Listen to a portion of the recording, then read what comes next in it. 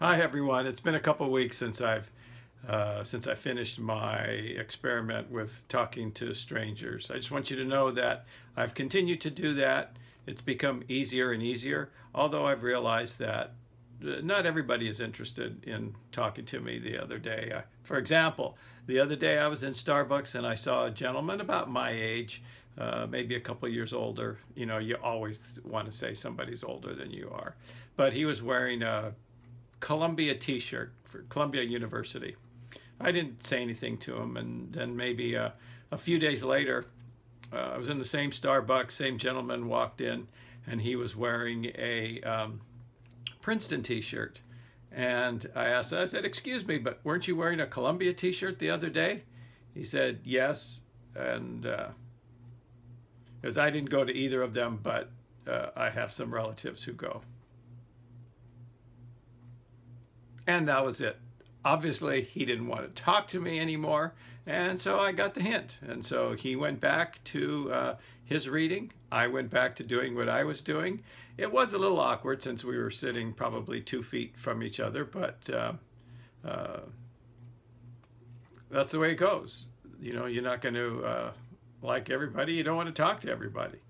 Uh, I remember being in a bar with uh, my dad, not surprising that the story about my father is that I'm in a bar with him, but um, we didn't have a chance to talk a lot, so uh, we're sitting next to each other in this bar having a conversation, and there's a fellow sitting next to me, and he starts talking to me, and so instead of paying attention to my father and having a nice conversation with him, uh, I'm engaged in this conversation with this guy I don't want to talk to anyway. And so my father calls me on it. He says, You know, why are you talking to him? I said, He keeps talking to me. I don't want to be rude. And he said, You don't have to talk to him. He's an asshole. And although a lot of people, according to my father, were assholes, it just stuck in my mind. That's true. You know, why should somebody take your time just because they want to talk to you? And I think all of us, you know, you may think, oh, that's pretty harsh, but we all do that now. Uh, we do that with our telephones. We have caller, if we still have a landline, we have caller ID. We don't know who you are, we're not talking. Somebody calls you on your cell phone, you make a decision. Do am I going to talk to this person or not? You know, we're taking control of that. In the old days, gosh, uh, you know, it was Pavlov's dog. You know, the telephone rang, you were there. So not everybody's going to want to talk to you, and in reality, I don't want to talk to everybody anyway.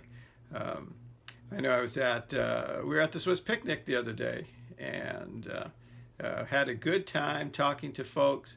It's interesting, people who you grew up with, people, there were people there who I started kindergarten with and had gone through high school.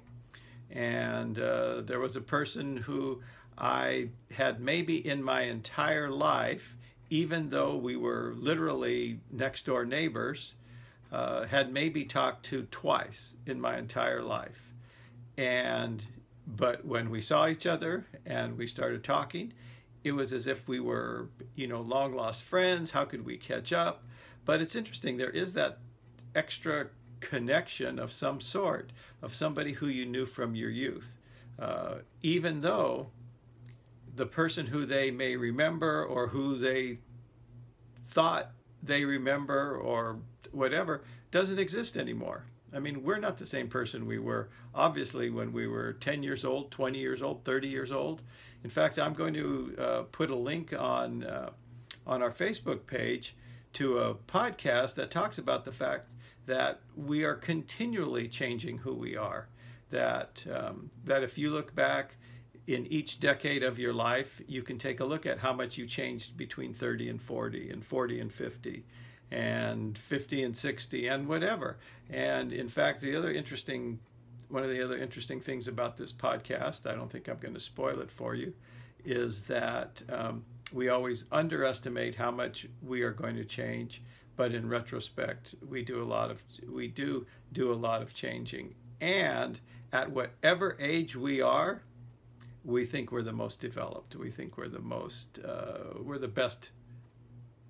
I'm the best me that I can be at this age. So uh, enjoy those podcasts. I think they are from uh, some TED Talks, and um, it's good to be back. Be looking forward to having these little chats with you. Have a great day.